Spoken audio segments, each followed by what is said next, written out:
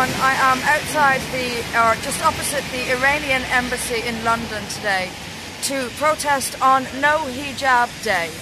Um, we have a hijab day, so we have a no hijab day to counteract it. I have a couple of messages I'd like to give today. Uh, one of them is to the women of Britain, and another is to the women of Iran.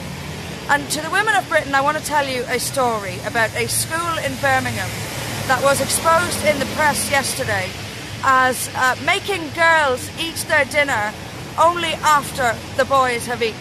So the girls are not allowed to eat until the boys have eaten. And according to the Telegraph, there are texts in this school which encourage violence against women. Those are the words used by the Telegraph. Now, that's a criminal offence for a start, but we all know that absolutely nothing will be done about it. Now, we have schools in Britain where girls are told, this is a message to girls, it's to tell them they're inferior. If they're not allowed to eat before the boys, what does that tell them? What message will they take through life with them that they are inferior? That's the idea. It's a brainwashing of girls. It's completely illegal and it's happening with impunity. Now, I want to know where Yvette Cooper is. I want to know where Stella Creasy is. In fact, I want to know where Theresa May is because they, neither of them, Neither of the big two parties in Parliament will do anything about that. We know this because the current government is doing nothing about it, and you know that the Labour government would be even worse. So we know that your daughter's future is a future where she lives in a country where women are second class citizens, treated as second class, because the influence of Islam is growing and will continue to grow. Labour will do nothing. In fact, they'll make it worse. Tories will do nothing. In fact, they'll make it worse. There is no one in the House of Commons now who will say a word about this. So you have a choice now. You can get rid of who is in the House of Commons and you can change the future for your daughter because if you don't change it now, it's going to be very dark. So vote for your daughter, vote for our party, vote for Britain. To the women of Iran, I want to say this, and it's not just to the women of Iran, but to women living under Sharia states all over the world.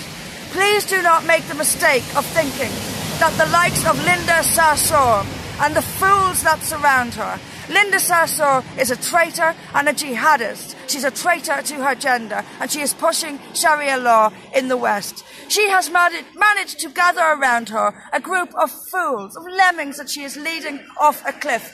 They pretend they represent women in, this, in the West and women in this country. They don't.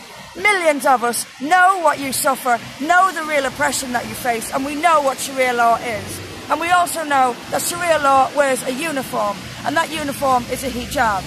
I want to say to the so-called feminists in this country and around the Western world that they have betrayed in the worst possible way betrayed every woman living under Sharia law in the world, betrayed them, stabbed them in the back, and put them in even greater danger. They should be thoroughly, thoroughly ashamed of themselves. And every feminist who dons a hijab, you are donning the uniform of the oppression of Muslim women. Women are killed, jailed, tortured all over the world for trying to take this thing off, and you are putting it on. Shame on each and every one of you.